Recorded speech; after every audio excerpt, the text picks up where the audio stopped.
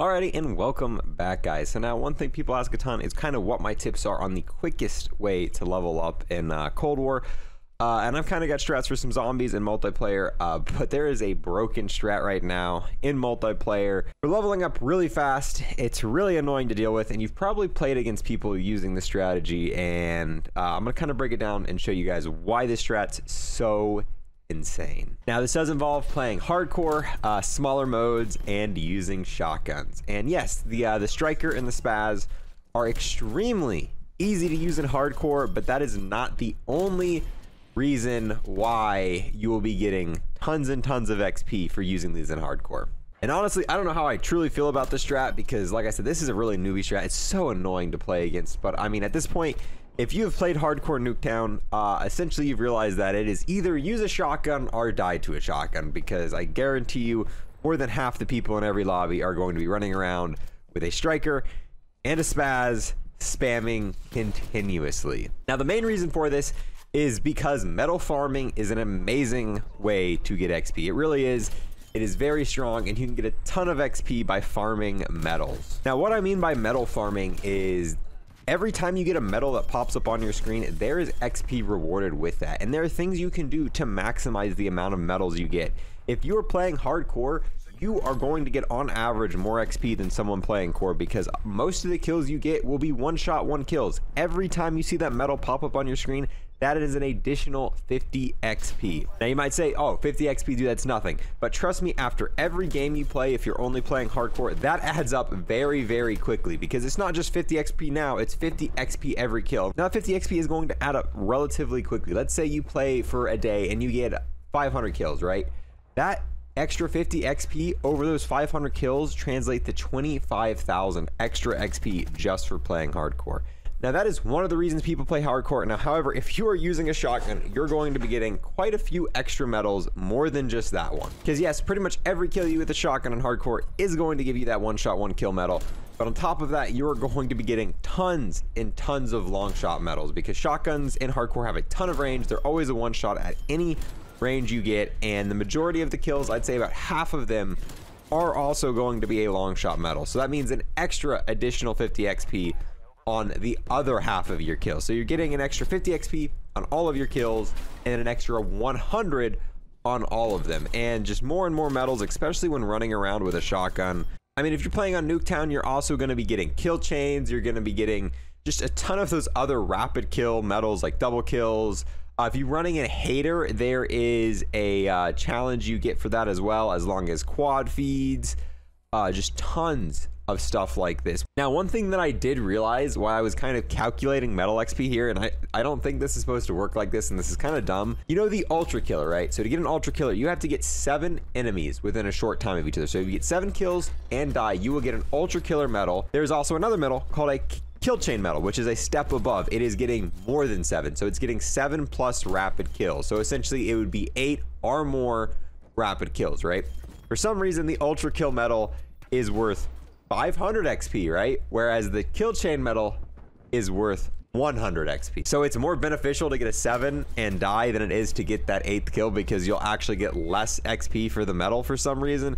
So I just, I kind of found that a little funny. Um, I, I don't know, because I was looking at all the different XP you get for medals. I think that's a bug. I don't think they intended to give you, you know, less XP for a higher rapid kill.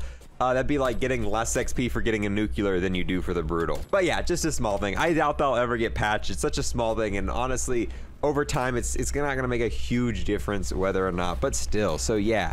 As you can see here, this is just absolutely insane. So another thing that makes this super easy, not only are shotguns ridiculously good, uh, you get extra XP for using them in hardcore, uh, on top of that, Gung Ho right now is ridiculously strong. Uh, an added benefit of Gung Ho is if you hold a frag grenade, you hold a stun grenade, while you are running, you do not have any sprint to fire time. Your gun, you'll be able to run and have your gun up at all times, meaning when you stop, there isn't going to be a momentary second where you've got to pull your gun up before you shoot. You're going to be able to just run around continuously spamming. And if you've seen and you've been playing Hardcore Nuketown, you see someone running around holding a Semtex or a frag grenade to get the full effect of uh, Gung Ho. And it is it is insane. People run around with Semtexes. That way when you kill them, drops a Semtex. And now they've got Martyrdom. Uh, and even without that, though, this is still a ridiculous strat. In the footage you're watching, I made sure for more than half the gameplay just to not be using the uh, the gung ho strat. That way, to kind of show you, even without it, like these weapons are still OP. It's not just because of gung ho. Eh, these weapons are still kind of absolutely insane. Now, if you want a really quick class rundown, and this is going to apply for both shotguns, essentially the most important attachment you can run while XP farming using this you want to be using the barrel that gives you the most effective damage range. So this barrel for the Striker gives you plus 30% effective damage range. You don't need extra damage. This would be useless in hardcore. It's always going to be a one shot. The fire rate helps a little bit, but if you can hit your shots consistently, trust me, that extra 30% range is so much, especially when you're comparing on Nuketown, and you're going to be getting so many more long shots and just a ton of extra stuff. Also, the wider pellet spread is an amazing attachment. It's going to make your pellet spread out wider. It's always going to be one hit anyway, so now you've got a bigger uh, effective range that you can hit people with. Uh, I use the very last sight, the one that gives you the extra hit fire because we're hit firing a ton with this. And yes, takes your sprint to fire time, but if you're using the gung ho strategy, you don't have any sprint to fire time, so there's no negative effect there. Uh, for the striker, I run the biggest possible barrel. My strategy with the striker is I run, I've got 18 shots with this. My goal is to get about 10 kills with the striker and then die. Start fresh. Because if you're reloading the striker, uh, you're wasting time because it takes too long to load and your XP is going to go down. So unless you're on a really good streak, uh, as soon as you get 10 kills, swap to your primary, die, and then start again with the striker. Yes, it's going to make it load 32% slower, but if you're not reloading at all, then it doesn't matter. And then for the stock, I do use the sprint to fire time because, like I said, I don't always use the gung ho thing. I like to be able to ADS sometimes uh, and whatnot. But yeah, that is really the uh, setup you want to be using for that. Definitely uh, for your perk, you want to be running Gung Ho, uh, Tactical Mask, Flak Jacket, really good options. Scavenger, just in case, you know, you want to kind of go on some higher streaks. And then just a bunch of good stuff like that. But yeah, this strat is just absolutely insane. It is so annoying uh, to deal with. But I mean, at this point, you've got to just join in. Like, hardcore Nuketown right now is so broken. Everyone's spamming shotguns. It's either join in or just die in rage to uh, shotguns. And I have decided to join them because I'm not gonna sit here and continuously die to shotguns anymore. It's it's not not gonna happen. We're just gonna street sweeper until they eventually fix this. Hopefully they fix it. Hopefully they fix it. But uh, yeah, the XP is insane. I just played one quick game for this. Uh, we ended up getting 90 eight one shot, one kill medals from my very first game of playing it. Granted, it was a domination game, but still, the sheer amount of XP we got from just this one game wasn't even a cherry pick game. I'm like, all right, let's go get some footage from this. Yeah, it is. It's just so broken, and the amount of XP you get is insane. And I really think that you can get one level per game during double XP. Like, double XP isn't even live right now. I mean, that was one just quick game without double XP, and we got 37,000 XP. 37,000 XP, no double XP, none of that. And I'm pretty sure it takes less than 50,000 XP to uh, rank up. So, I mean, legitimately, whenever there's double XP launched, that is one X. That is one level plus some per game just by running around with these shotguns. So trust me, next double XP weekend, dude, we're just gonna be demolishing through some of these uh, levels to get closer to a thousand. Yeah. And honestly, I wouldn't even feel bad for using the shotgun meta, boys. Because, like I said, if, if you played hardcore Nuketown, I mean, it's it's everywhere. You can't avoid it. Uh, you might as well just join in, get some easy XP uh, until they until they do something about these absolute monsters uh, in hardcore. But yeah, with that, I'm gonna go ahead and end it. If you guys have any other tips in multiplayer, I haven't made my zombie videos yet. Trust me, we're gonna be covering XP and zombies another video. If you have any tips that uh, you use to help rank yourself up in uh, multiplayer, definitely let me know. Maybe there's a quicker way uh, maybe there's a way that's a little bit more, you know, respectable than running around with these uh, with these monsters uh, in hardcore. But just just go ahead and let me know, boys. But with that, I'm gonna let this gameplay finish off for you, and uh, yeah, I'll see you guys next time. Peace.